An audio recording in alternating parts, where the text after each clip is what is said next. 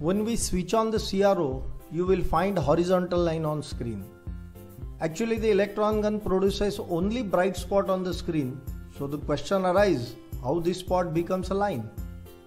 When electron beam moves very fast with particular frequency on the screen, we feel there is a line. For this, we need to give sawtooth wave to the horizontal deflection plate. The circuit which produces sawtooth wave is known as the time-based generator. When electron beam moves from left to right, it is known as trace. The time required for trace is the trace time. The electron beam come back again to the left. This is known as the retrace. The time required for this is retrace time. The action is similar to reading a book. When we read any written information, we move from left to right and come back again to the left. The action of electron beam is same, so naturally trace time is more than the retrace.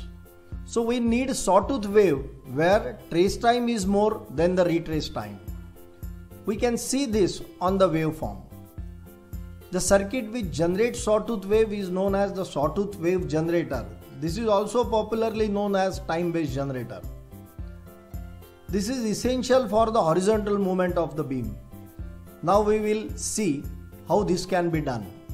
For this we need one circuit which is known as time based generator. It uses UJT that is junction transistor.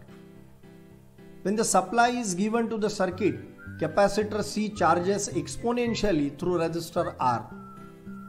As the voltage on capacitor reaches to Vp, the emitter junction becomes forward bias and current will start to flow through this junction. Now the capacitor discharges.